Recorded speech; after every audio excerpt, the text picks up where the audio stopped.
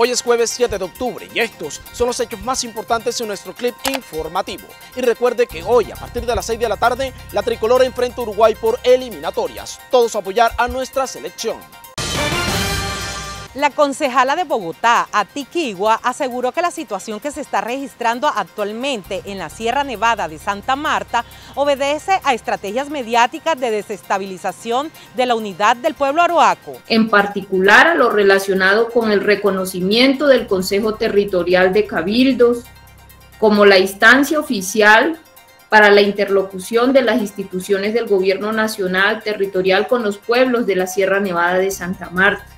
Asimismo, a contar con un contexto claro y un diálogo permanente con las autoridades para no incurrir presuntas situaciones constitutivas de calumnias, injurias que generan desarmonizaciones y ponen y afectan la integridad del pueblo arhuaco y acentúan los señalamientos y estigmatizaciones respecto a nuestros líderes en un contexto de recrudecimiento de las situaciones de violencia en el país. De acuerdo con la lideresa Aruaca, se estaría buscando que los indígenas desistan al derecho de la consulta previa frente a los proyectos de gran impacto en sus territorios.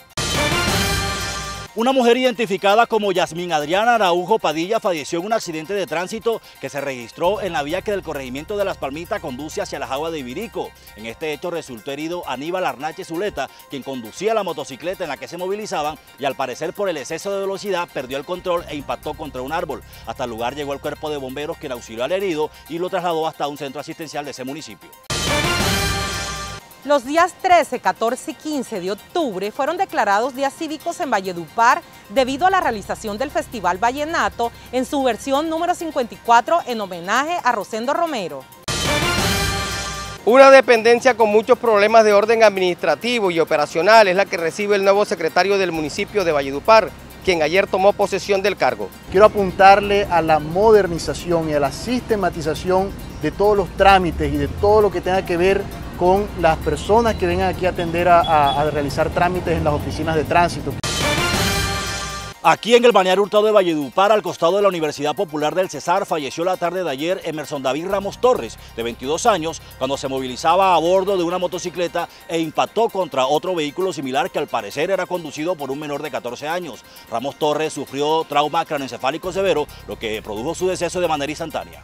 Sí, bueno, él venía de para acá, hermano, venía soñé en bola, ¿me entiendes? Y, iba al pedal abajo. Entonces le el pedal, él hizo caso omiso, de pronto no sé por qué sería. Entonces, él ahí, él ahí, el pedal frenó de para acá y lo, perdió, el, control del sí, equilibrio y cayó. Y venía otra moto de, allá para acá y con esa moto hubo el, el, el impacto. Arrancó en el municipio del Paso la recolección de firmas dentro del proceso de revocatoria de mandato al alcalde Andri Aragón. Miembros del comité de revocatoria dijeron que necesitan 1.500 firmas, pero ellos están dispuestos a triplicar esa cifra. Una menor de 16 años resultó herida tras recibir puñaladas en el rostro y toras en medio de una discusión con su compañero sentimental. El hecho se registró la tarde de ayer en el barrio Nuevo Milenio de Valledupar. La joven fue trasladada hasta una clínica pediátrica donde recibe atención médica bajo pronóstico reservado. El agresor por su parte fue capturado en una rápida ración de las autoridades y dejado a disposición de la fiscalía.